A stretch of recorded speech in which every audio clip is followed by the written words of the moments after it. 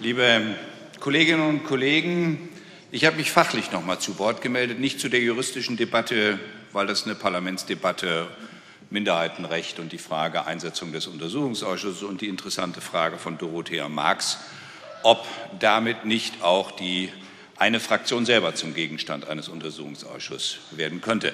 Das bewegt mich im Moment alles nicht. Das haben Sie alle selber im Herzen zu abzuwägen. Ich äh, habe mich zu Wort gemeldet in der Sache selber, weil ein Prophet, ein Selbsternannter, hier behauptet hat, dass es sich um Aktenmüll handeln würde. Und ich muss einfach sagen, als Vertreter der Betroffenen, und jetzt spreche ich als Vertreter der Konsumgenossenschaften, deren das ist interessant, dass Sie da schreien. Sie wollen offenkundig nicht mal den Sachverhalt hören, den ich Ihnen schon als Oppositionsführer damals gesagt habe, als Sie noch regiert haben. Und da haben Sie auch nicht darauf reagiert.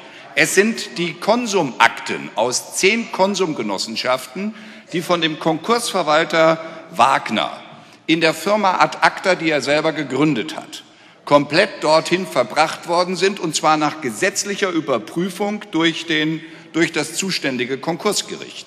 Und ich habe den damaligen Innenminister, den damaligen Justizminister darauf aufmerksam gemacht. Ich habe dazu auch ein Schreiben verfasst und habe das hier am Pult in der Aktuellen Stunde gesagt, dass in dieser Firma Ad Acta lauter Personalakten liegen von Firmen, die selber durch die Insolvenz gegangen sind und wo die Insolvenzgerichtsbarkeit nicht darauf geachtet hat, dass gegen viel Geld diese Akten korrekt deponiert worden sind, um sie jederzeit wieder prüfbar zu machen, nicht um sie wegzuschmeißen, sondern damit derjenige, der seinen Rentenauszug braucht, auch die Stelle bekommt. Insoweit hat der Konkursverwalter Wagner einen größeren Geldbetrag aus der Konkursmasse genommen und hat dafür die Firma Ad Acta bezahlt. Und äh, viele weitere Konkurse sind in der, in der Firma Immelborn Ad Acta eingelagert worden. Und später hat Herr Wagner das Unternehmen verkauft, als er sich komplett aus Thüringen zurückgezogen hat. Aber die Fach- und die Dienstaufsicht über Insolvenzverfahren, das würde mich mal interessieren, wann wir das eigentlich mal diskutieren wollten, wenn nämlich Gerichte dafür zuständig sind, ob die Materialien ordnungsgemäß hinterlegt sind und am Ende die Firma in Insolvenz geht, die lauter Insolvenzakten beaufsichtigen muss.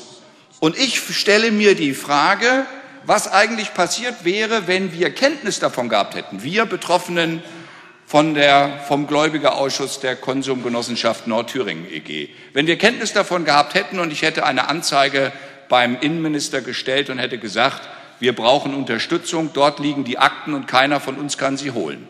Ich bin Herrn Hasse dankbar, dass er damals das Thema über die Anzeige aufgegriffen hat und gesagt hat, die Akten liegen offen rum. Dazu haben sich dann noch herausgestellt Patientenakten. Mit denen haben die Konkursgerichte gar nichts zu tun. Offenkundig haben Ärzte ordnungsgemäß nach gesetzlicher Auflage ihre Akten, ihre Patientenakten, die hochsensibel sind, auch bei dieser Firma gegen Entgelt hinterlegt.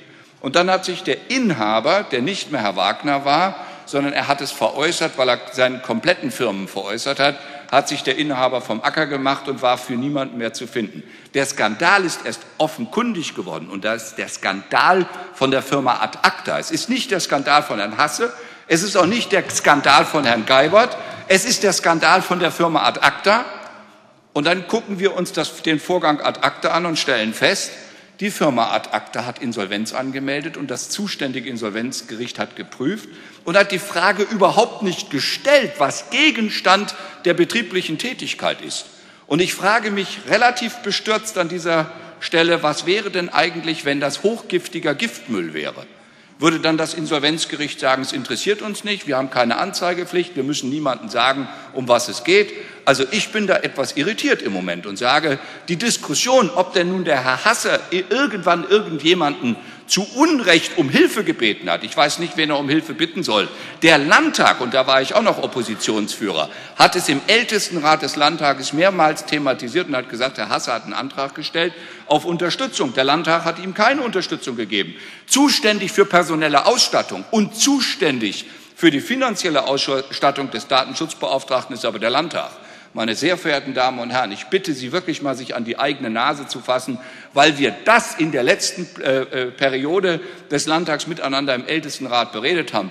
Und weder der Landtag hat reagiert, noch das Geld ist zur Verfügung gestellt worden, um die Akten zu sichern. Das Einzige, was Herr Hasse gemacht hat, und dafür bin ich ihm dankbar, er hat Herrn Wagner ausfindig gemacht. Herr ha Wagner hat sich wieder als Insolvenzverwalter ein ins Recht äh, einsetzen lassen von dem zuständigen Insolvenzrecht und hat dann die Aktenberäumung gemacht. Ich bin froh, dass die Akten, die jedenfalls Konsumakten sind, die jedenfalls über 30 Jahre dort äh, ab, äh, also mittlerweile ein Status von 30 Jahren, also das Insolvenzverfahren Konsum Nordthüringen hat 16 Jahre gedauert. Das heißt, 16 Jahre vorher wurden die Akten dort hinterlegt.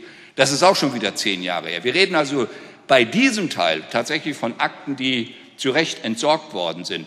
Aber die Zerlegung, wann sind die Patientenakten reingekommen, wann sind die letzten Aktenbestände reingenommen worden, das, meine Damen und Herren, hätte dann nur von Herrn Hasse veranlasst werden können, wenn er die entsprechende Fähigkeit dazu gehabt hätte. Und er hat immer darauf hingewiesen, die Akteneinleger müssen die Akten zurücknehmen. Und die Akteneinleger, und das ist der Punkt, warum ich mich jetzt nochmal zu Wort gemeldet habe, der hat sich gemeldet. Der Akteneinleger war Herr Wagner für Konsum Nordthüringen und diese Akten sind alle korrekt entsorgt worden. Das ist aber erst sozusagen klar gewesen, als Herr Hasse den Herrn Wagner persönlich sozusagen gegriffen hat, weil der längst im Ausland lebt. Soweit ich weiß, ist er seit langer Zeit nicht mehr hier in ja, Erfurt, nicht mehr in Thüringen ansässig und die Kanzlei gibt es gar nicht mehr. Insoweit ist es eine detektivische Besonderheit, dass Herr Hasse es geschafft hat, Herrn Wagner zu bekommen. Ja. Und Herr Wagner hat mittlerweile zumindest diese Akten alle bereinigt. Und falls Sie Herr noch mal etwas, ich bitte Sie zum Ihre Redezeit ist um. Falls Sie noch mal etwas Zeit daran verschwenden wollten, ja, bevor Sie klatschen, dann sollten Sie mal darüber nachdenken, welche Haftung Gerichte haben, die über solche Insolvenzen entscheiden.